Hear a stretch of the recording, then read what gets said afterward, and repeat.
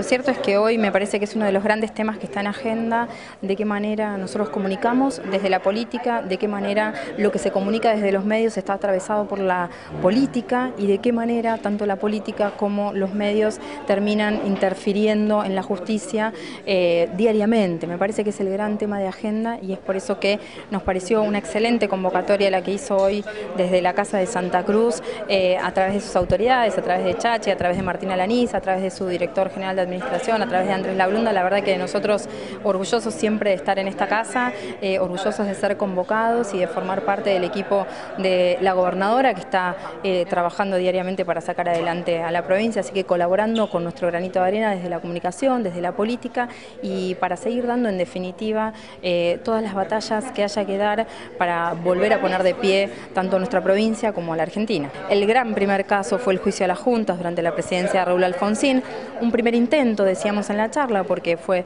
unas, fueron audiencias que solamente se transmitían en vivo durante tres minutos y en silencio, y solamente se pudo eh, obtener el audio del alegato de Estracera y de alguna filtración que luego se obtuvo años después, y después el gran caso que mantuvo en vilo a toda la sociedad argentina, en particular la sociedad catamarqueña, fue el caso María Soledad Morales, donde el juicio oral y público adquiere ribetes claramente con una puesta en escena dignos de eh, estar en todas las eh, en todos los canales de televisión, arrancan los canales de noticias las 24 horas, ustedes lo saben bien como periodistas que eso marcó una bisagra también en la manera de comunicar y en el modo de comunicar cada uno de estos casos policiales y después hubo una serie de mm, casos policiales que han también eh, atrapado la atención eh, de la sociedad en la mayoría de los casos atravesada por la política. El caso María Soledad es el caso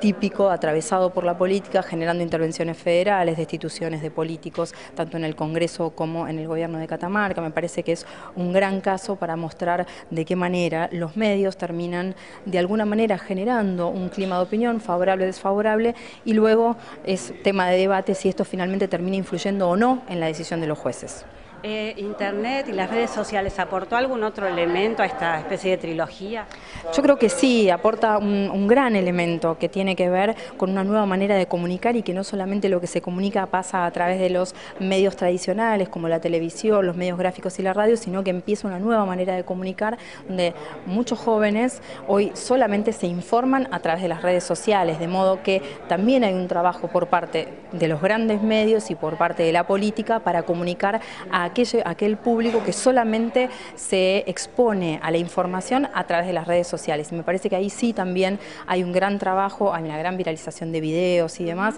que me parece que eh, ha marcado también otra tendencia diferente en la hora de comunicar tanto la justicia como la política.